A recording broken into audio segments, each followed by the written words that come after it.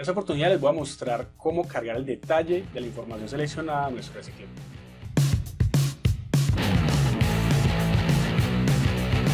En el video anterior nos quedamos básicamente en un Recycler View que está dentro de un fragment y ya teníamos los eventos de selección. Pero esa información simplemente nos mostraba un mensaje con el nombre de la opción seleccionada.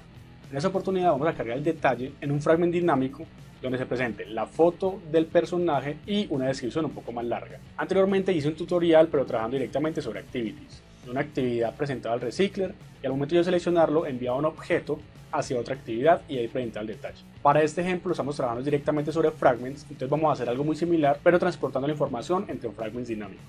Listo, para generar el detalle cuando seleccionamos algún elemento de la lista tenemos que irnos para el XML asociado a nuestro fragment detalle. En este caso se llama fragment detalle personajes y por ahora él tiene esta estructura. Lo que voy a hacer es generar entonces un linear layout que sea de modo vertical y ahí voy a agregarle una imagen y el texto de la descripción.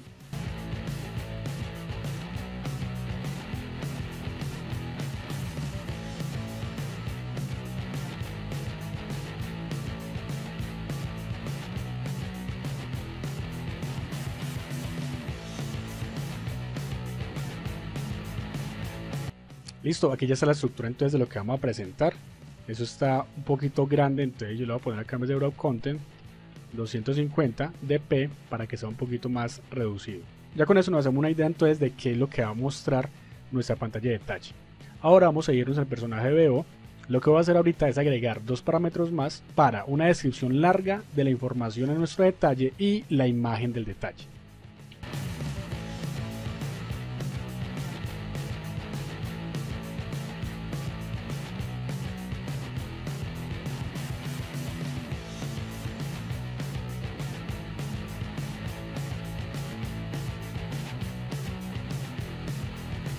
Listo, entonces como vimos ya creé los parámetros eh, descripción, imagen detalle, se agregó también aquí en el constructor y tengo los respectivos set y get para encapsular esta información. Al haber modificado el constructor también vamos a tener que modificar el llenado aquí en nuestra lista. Entonces vemos que se nos presenta un error y es porque este personaje BO ya cambió y espera más parámetros. Entonces lo que voy a hacer inicialmente es quitar todas estas descripciones y agregarle la descripción, coma, y luego agregarle la imagen del detalle. Este sería r.drawable.goku detalle. Y eso mismo tendría que hacerlo con el resto de elementos. Pero por ahora voy a quitar esto de acá porque ahorita lo vamos a modificar. Por ahora tendremos solamente un elemento que se presentará en nuestra lista. Recordemos que según el constructor tiene nombre, información, descripción, imagen y la imagen del detalle. Por esa razón aquí quedó nombre, el espacio para la descripción corta, la descripción larga, la cara que se muestra en la lista y la foto del detalle.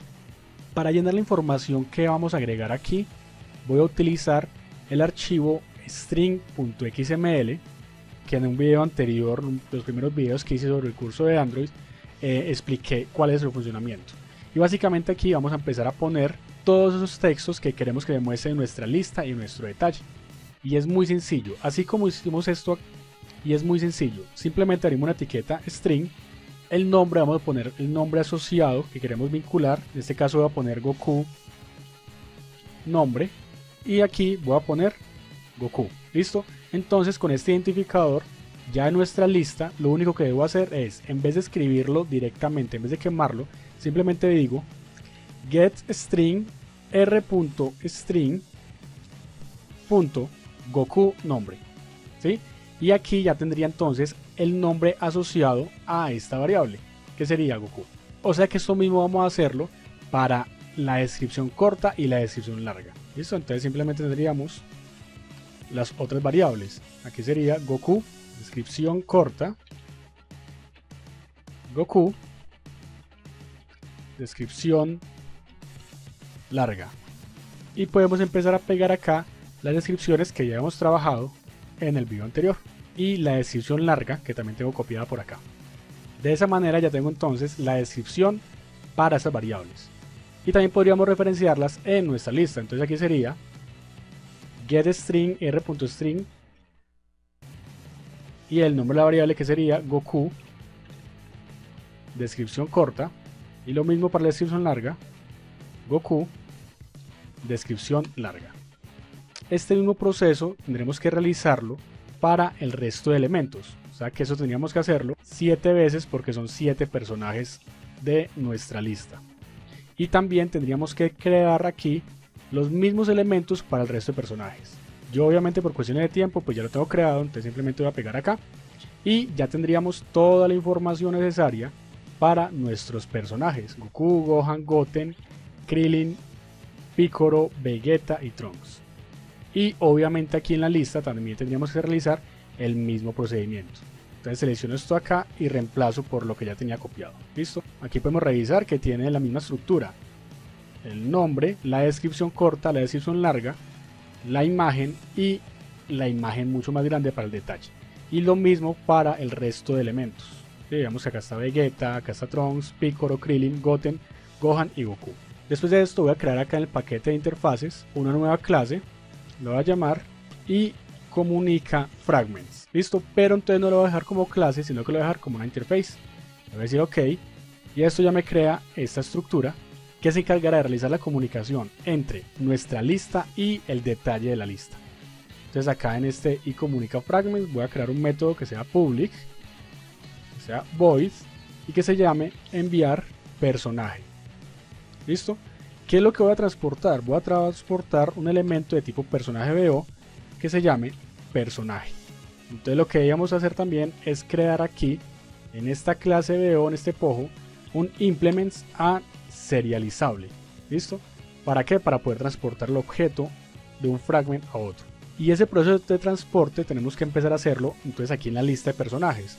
Lo que voy a hacer aquí arriba, inicialmente, va a crear una referencia a un activity porque es el que nos va a permitir tener el contexto de nuestra aplicación. Y voy a generar acá también una referencia a ese y fragments. Lo voy a llamar interface comunica fragments. Teniendo esto ya tengo que empezar a las referencias para que se establezca esa comunicación con esa interfaz. Entonces voy a bajar por acá al método onAttach en este método vamos a hacer lo siguiente.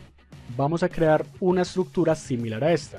Voy a decirle si el contexto que le está llegando es una instancia de una activity. Entonces voy a decirle a mi actividad, this.activity, la que acabo de crear, que sea igual a dicho contexto. Y aquí tengo que hacer el casting correspondiente. ¿Listo? Esta es la actividad que acabamos de crear allá arriba, ¿cierto? Y luego voy a decirle a esa interfaz comunica fragment que sea igual a ese contexto de la actividad. Esto, esto es necesario para poder establecer la comunicación entre nuestra lista y nuestro detalle. Ahora que tenemos el contexto aquí, entonces vamos a utilizar esta interfaz y en el evento de un clic voy a decir lo siguiente.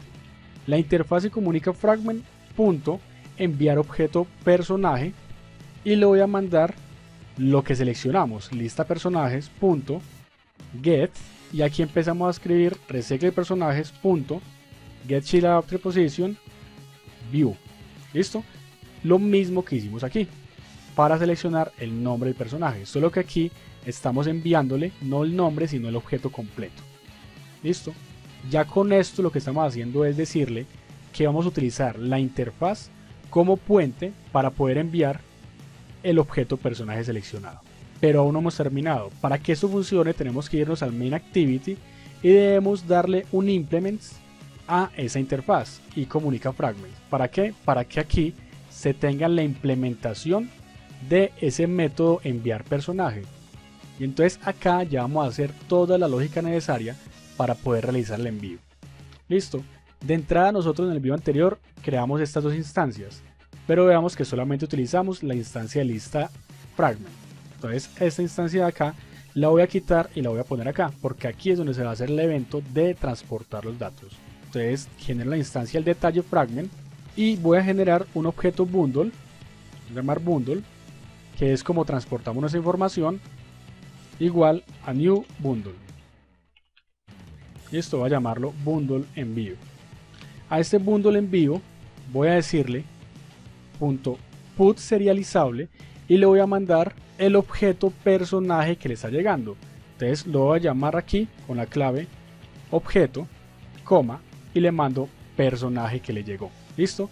Y ya teniendo entonces el detalle fragment, le envío los argumentos. Entonces le digo set arguments y le mando el bundle envío. Después de esto vamos a cargar el fragment en el activity. ¿Y cómo lo hacemos? Pues como lo hemos venido realizando aquí. Entonces simplemente get support fragment manager, pero ya no sería lista fragment, sino que sería detalle fragment.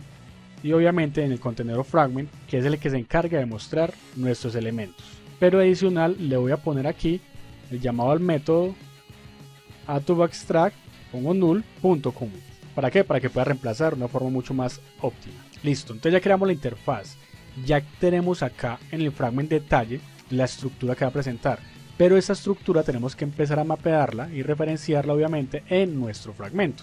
Entonces aquí tenemos que generar los componentes que queremos visualizar. En este caso, en el detalle fragment, voy a generar aquí un text view que va a ser el texto de la descripción y el image view que va a ser la imagen detalle. Entonces acá simplemente en el on create view pues hacemos todo el proceso que ya sabemos de referenciarlo. Entonces primero creo el view, voy a llamar vista, que sea igual a esta línea de acá porque vamos a inflar ese fragmento y aquí obviamente vamos a retornar esa vista.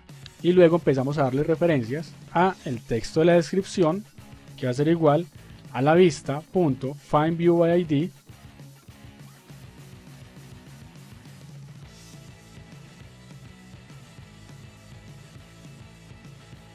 y después de haber tenido las referencias vamos a crear el bundle para recibir el objeto enviado por parámetro entonces le digo objeto personaje que sea igual a get arguments. Luego le digo que voy a generar una instancia de personaje BO que se llame personaje igual a null y voy a hacer una validación.